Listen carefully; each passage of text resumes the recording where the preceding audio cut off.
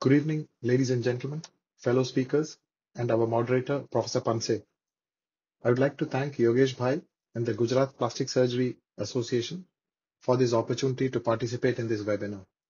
Yogesh Bhai is my guru and has had a huge impact on my growth and training as a surgeon. I would not be where I am today without his guidance and constant encouragement over the years. Starting with Vitrag Bhai, myself, Sharad, Ashutosh, and Bijoy, and everybody else that followed us at the plastic surgery department at SSG Hospital, Baroda. We owe our training and standing as plastic surgeons to Yogesh Bhai. Thank you, sir.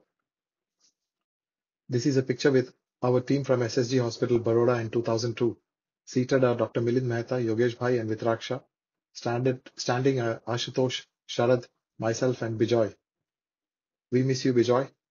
On the left is Yogesh Bhai with the founder of our department, Professor S.N. Sharma. Only Yogesh Bhai has gotten younger with the years.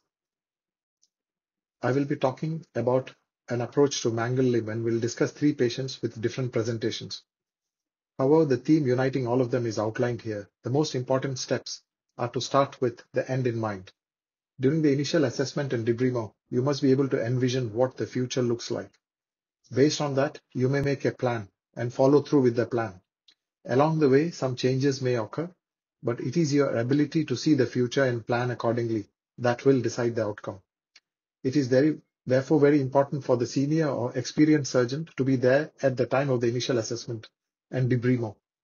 The other key steps for a successful outcome are stable skeletal fixation and staged reconstruction. My first patient is a 16-year-old Malaysian boy. He was a junior national basketball player and sustained a mangled injury to his right forearm when it got caught in a prawning machine at his father's prawn farm. A prawning machine is used to deshell prawns and looks like this and runs by an electric motor. Someone accidentally started the machine while he was checking it before the day's work. He was seen about 10 hours after the injury. Clinical examination and radiographs showed loss of the proximal two-third of the radius and the proximal radio ulnar joint, with a segmental fracture of the mid shaft of the radius. He had loss of the biceps and pronator teres insertions, although the muscles themselves were intact. In addition, he had loss of the common extensor origin, mobile wad, and the posterior interosseous nerve, resulting in no extensor function. He also had loss of the proximal flexor pollicis longus and anterior interosseous nerve, resulting in no function of the flexor digitorum profundus of the index and middle finger. Lastly, he had loss of the radial artery immediately after the brachial artery bifurcation. Let us start with the end in mind. What I want for the bone and joint is a stable forearm axis. Although the elbow, wrist, and hand are structurally intact, loss of the radius and proximal radioulnar joint makes the wrist and DRUJ unstable as the load is transmitted from the hand to the distal radius via the DRUJ. And this is a soft tissue linkage that will not be able to take the load. Our plan was therefore to convert it into a one bone forearm by fusion of the DRUJ. Although this will prevent any pronosupination, he could still rotate his forearm at the shoulder. As far as the musculotendinous units are concerned, what I want is good finger and wrist extension and to restore thumb, index and middle finger flexion. I have a fu functioning biceps, pronator teres, wrist flexors and the FDS. My plan was to insert the biceps into the brachialis that inserts into the ulna and do a standard set of tendon transfers for radial nerve palsy, namely a PT to ECRB, FCR to EDC and PL to EPL. For the flexor recon, we plan to use the FDS tendons we use the FDS ring finger for the FPL and the FDS to FDP transfers for the index and middle finger. Overall, this plan would get us good extensor and flexor function, although the grip strength would be weaker. The perfusion and the sensation of the hand were intact, so no vascular or nerve procedures were required. The divided proximal end of the radial artery could be used to power a free flap, and a flow-through flap could improve perfusion of the hand, although this is not necessary. Last is the plan for skin cover. The aim was to provide a good cover for the tendon transfers. We plan to do a flow-through ALT flap. We decided to raise it along with the vastus lateralis muscle in order to make the flap harvest faster and ensure adequate perfusion of the large skin island. Also, a free flap would allow early mobilization of the tendon transfers. When planning for the end, it is important to remember that the focus should be directed towards restoring function and not anatomy. Sometimes we are focused on putting everything back into its normal anatomical position. We must avoid that temptation. and aim to restore function as soon as possible. The next important step is radical debridement. This shows the extent of the skin defect from proximal to the elbow till beyond the wrist, involving nearly half of the circumference of the forearm. The musculotendinous units are all clearly demarcated. I always remember what Dr. Sabapathy frequently mentions. Debridement is not removing what is visibly dead. It is leaving behind what is evidently alive. This requires a change in approach and one must ensure that whatever we leave behind will make it. The presence of the most experienced person at the initial assessment and debridement is one of the most important features, factors determining outcomes.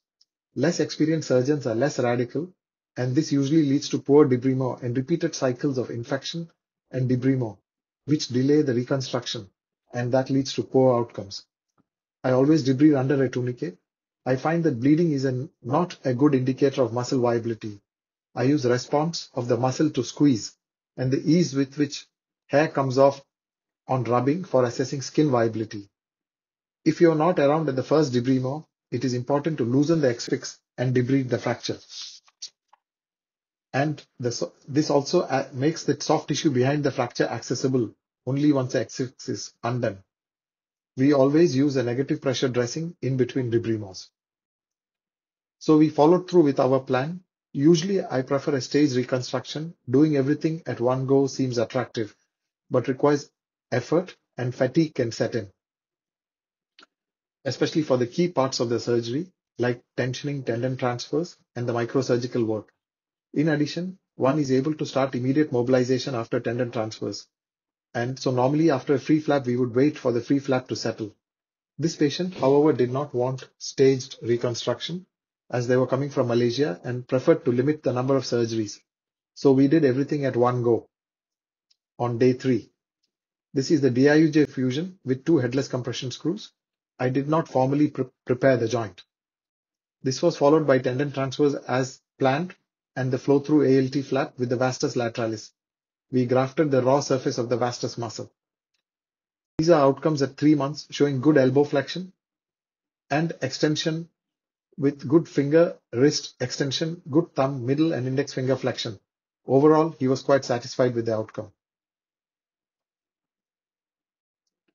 My next patient is a 26-year-old lady with bilateral open fractures of both bones in the upper limb following a road traffic accident. This was initially managed at another hospital and seen by us 10 days after injury with open infected fractures.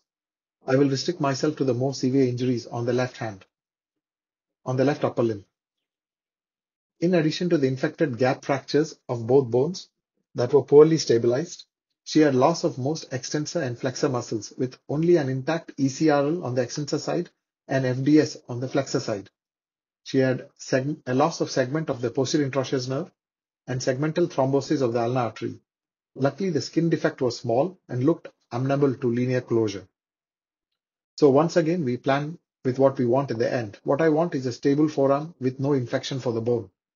This is done best by debridement till cultures are negative, followed by stable internal fixation. The musculotendinous units are more problematic as we have loss of both extensors and flexors. My aim was to get reasonable finger flexion and extension, and I plan to use the FDS for both FPL and FDP function, and then use a free functioning muscle transfer to restore finger extension. So the treatment plan was discussed with the patient. We are hoping to control infection in three to four weeks skin closure followed by fixation of the bones. Then we do therapy to keep the joint supple. And three months later, once the soft tissues have settled, for the flexor reconstruction first, followed by the extensor reconstruction. We kept our plan, uh, controlled infection, and fixed the fractures at six weeks. The X-fix were repositioned initially, and then once infection was controlled, the skin was closed and the X-fix removed. And the patient managed with a back slap for a short while, while the pin tracks healed. In areas of gap, we usually place bone cement to avoid a dead space that could get infected. Then we plated both bones. This is the appearance just before tendon transfers for finger flexion. You can see good intrinsic function, good FDS function, but no thumb flexion or finger or thumb extension. We use the index finger FDS for thumb flexion and split the middle and ring finger FDS to restore FDP function of the four fingers. These are outcomes of the flexor transfer at 4 months. You can see that finger and thumb flexion has improved. However, the FDS excursion is 50 millimeters and cannot match the FDP excursion of 70 millimeters and needs wrist extension to achieve a full grip. She also underwent a free functioning gracilis at four months. The gracilis was powered by the proximal end of the ulnar artery and the PIN and used to restore finger and thumb extension. These are outcomes of the gracilis at one year, showing reasonable finger extension and flexion. As I mentioned earlier, I prefer stage reconstruction. It is better to do the flexor reconstruction first, as that is more important to overall function and valued by the patient. A good analogy for flexor reconstruction is scoring a touchdown in American football. This is what gives you six points. Extensor reconstruction is scoring the field goal after the touchdown. Gives you only one point, but it is a nice feeling. Our last patient for today is a 35 year old man from Nauru, which is a Pacific island, who came two weeks after a road traffic accident with a large open infected wound on the back of the right forearm. Luckily, he had no bone and joint injuries. He only had one functional muscle in this forearm, the FCU, he had no other flexors or extensors. In addition, he had a long segment thrombosis of the radial artery, loss of the posterior interosseous nerve, and a large hemicircumferential skin defect involving the entire dorsum of the forearm. The end result I had in mind was finger flexion and extension, but I only had FCU. Therefore, we planned to do a biceps to FDP transfer using a tensor fascia lata graft, followed by a FFMT for finger extension. As far as the skin defect, although a large ALT was suitable, I wanted to preserve the vessel for a FFMT, and we decided to do a large groin flap. This was our treatment plan, three weeks for infection control, followed by flap coverage. This was followed by stage flexor and extensor tendon reconstruction.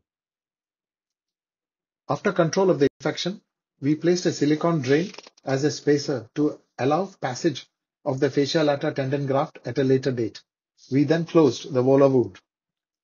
A large abdominal cum groin flap was designed and used to resurface the dorsal defect, and a skin graft was used to resurface the secondary defect. The flap looked good, and we maintained passive finger range of motion to keep the silicone rod mobilized as well as maintain the joint supple. We continued a passive range of motion after flap division also. We sent him home for a short while and he continued therapy at home.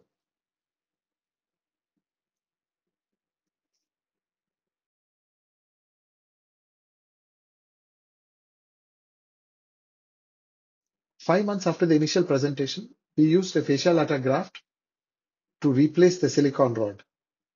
This video shows the arc of flexion of the fingers before the fascia lata graft. And this and this video shows once the fascia lata graft was done, the, the, the range of motion has improved. This is biceps using a fascia lata graft to the FDP of the fingers. Unfortunately, he ran out of money for the extensor reconstruction and now went ahead with the last stage of FFMT for extensor function.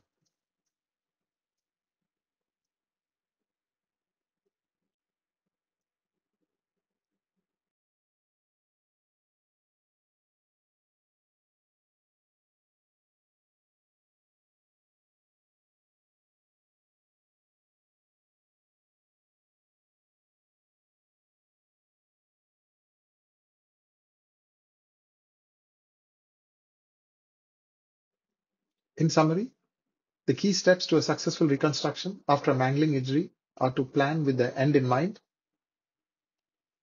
debride radically, fix stably, and plan staged reconstruction. Thank you.